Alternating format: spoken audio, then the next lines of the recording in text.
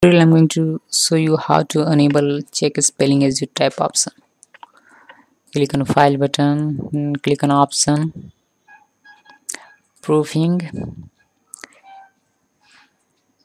And in the when correcting spelling and grammar in word section you will see that check spelling as you type box. It is checked because I have enabled it already. Okay? So if you if this box is unchecked in your uh, word option then check it because this is very useful. Or if you want to disable it then simply uncheck this box and click on ok. Okay? Okay? So this is how you can enable check spelling as you type option. Thanks for watching this video